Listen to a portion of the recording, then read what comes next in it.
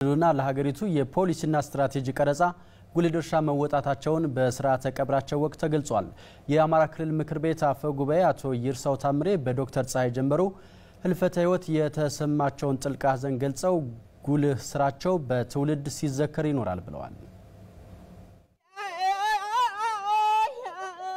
ክልላችን የተለያዩ ፖሊሲዎችን በተለይም የስርዓተ ትምህርት ቀረጻ ከትምህርት ጋር የተያያዙ ሌሎች ፖሊሲዎችና ስትራቴጂዎች በሚያዘጋጅበት ወቅት ግንባር ቀደም አስተዋጽኦ የሚያበረክቱ ነበሩ።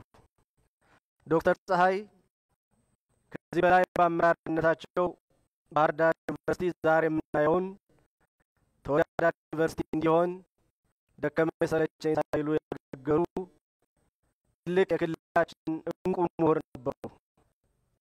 ሰው ከመሞት የማይቀር በመሆኑ ሞታቸውን በትልቅ ሐዘን እየተመለከት ወላጆቻቸው፣ ቤተሰቦቻቸው፣ የስራ ባልደረቦቻቸው በተለይም የባህር ዳር ዩኒቨርሲቲ ማህበረሰብ መጽናናት እንመኛለን። የኢፌዴሪ ሚኒስቴርን በተወካዩ በኩል በዶክተር ፀሐይ ጀንበሩ የተሰማውን ሐዘን ገልጿል። በተለይ የክልሉና የሀገሪቱ የትምህርት ተቋማት የትምህርት ስርዓታቸውን የተሻለ ለማድረግ እያደረጉት ባለው ሂደት የዶክተር ፀሐይ ሚና የማይተካ ነበር ብለዋል።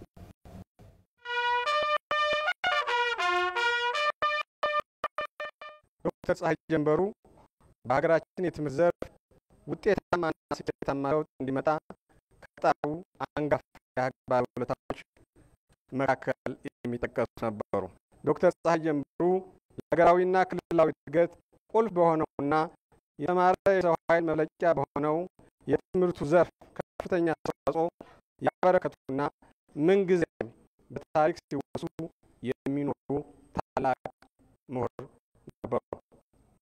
ስለሆነም የትምህርት ሚኒስቴር ለቤተሰቦቹ፣ ለስራ ባልደረቦችና ለዩኒቨርሲቲው ማህበረሰብ በሙሉ መጽናናትን ይመኛል።